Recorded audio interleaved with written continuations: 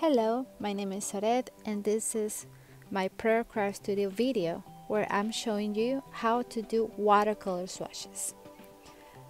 So in this video right now I'm writing down all the information from each of the watercolor tubes in one watercolor paper, the same one I use for my paintings.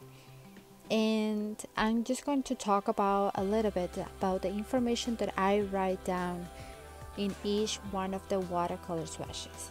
So first of all, after finding the same watercolor paper, I want you to see that there are two squares, or one square and one little rectangle, and underneath there are like three lines where I'm writing down the information that I find on the website for each of one of the brands.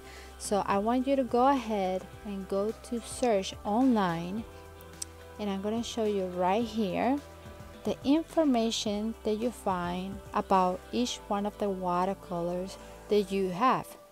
So here you find all the properties and this is what you are going to write down. So the first thing you are going to be writing is the brand.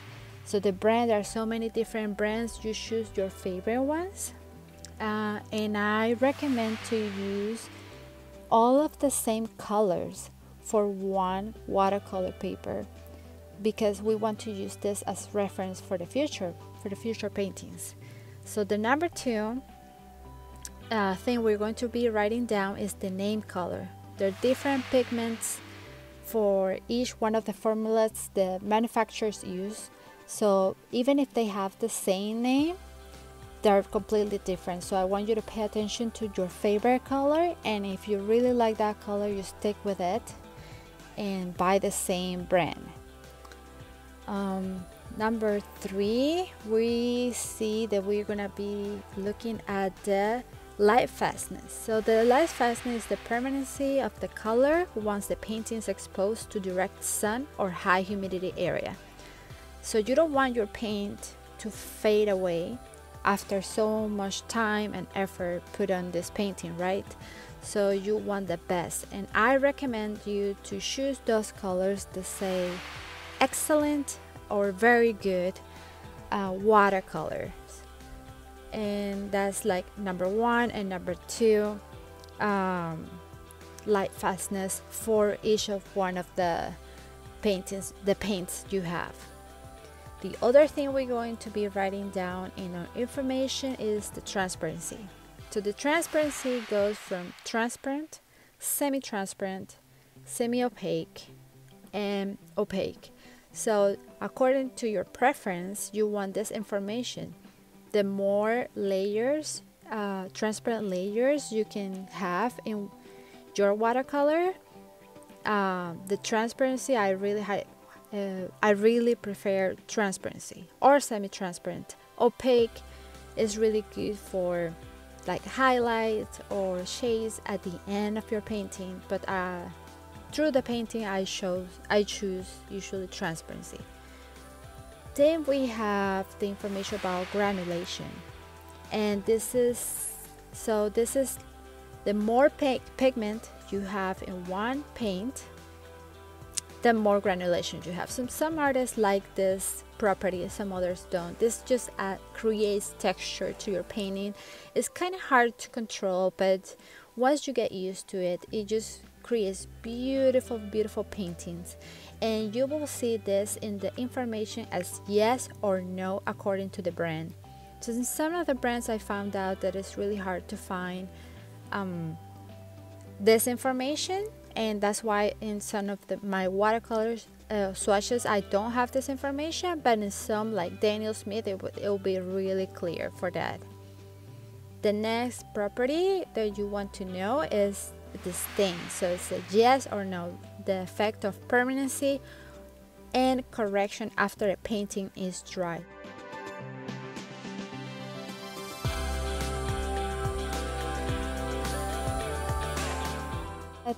we are going to go through the watercolor swatches right now. So I want you to grab the watercolor brush of your preference. I chose for this to uh, round brush because I usually use round brushes for my paintings, but you can easily use a flat brush which is like it will leave like a very nice stroke after stroke very clean stroke. So this is the technique that I use to do the watercolor swatches. So first I saturate my watercolor brush in paint very very very um, saturated. And that's the first line I'm going to create on the top the first stroke I'm going to create from the top to the bottom. Then after that I'm going to have this my paper towel or a towel and then I'm just gonna clean a little bit my brush and then go over and and dip my brush in in clean water and then just try to get another stroke right underneath that saturated stroke you did and then just go over and over again just cleaning your brush dipping in the water and go underneath your last stroke until it's completely transparent. So in there you're gonna see the levels of the different levels of transparency of your color. So after that you are going to use the last square or little rectangle underneath the watercolor swatches which is going to be used to, to put the wet on wet technique. And what we do is to grab completely clean water and just get all that area wet. And then on the left side of your square you're going to tip your brush in the saturate part of your paint in with your palette in your palette and then grab that paint and just barely touch the left side of your square. And then see how the the color mixes with the water and travels through water and just like that don't add a lot more paint just a little bit on the left side and that'll be it. It will it will look completely different once it all dries and you will see the the reaction afterwards. So this is what's going to happen when in your painting when you do wet on wet for each one of your paints. So after this um, I'm gonna be painting a little bit uh, a little flower here. And this is what I usually do I have my watercolor uh, swatches next to me next to my painting so I know what colors to use and how it will react when I'm painting on the same watercolor paper. So I hope this video was really helpful for you and please leave me a comment, like it, share it, and we'll see you next time. Thank you. Bye bye.